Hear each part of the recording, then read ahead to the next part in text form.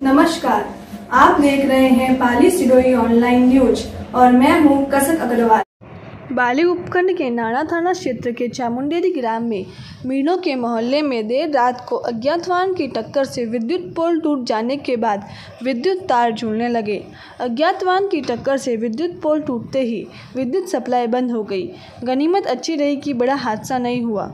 मोहल्ले वासियों ने इस हादसे की सूचना विद्युत निगम को दी। और दुर्घटनाग्रस्त पोल को जल्द बदलकर मोहल्ले की बिजली सुचारू बनाने का आग्रह किया, जिससे मोहल्लेवासियों को गर्मी से राहत मिल सके।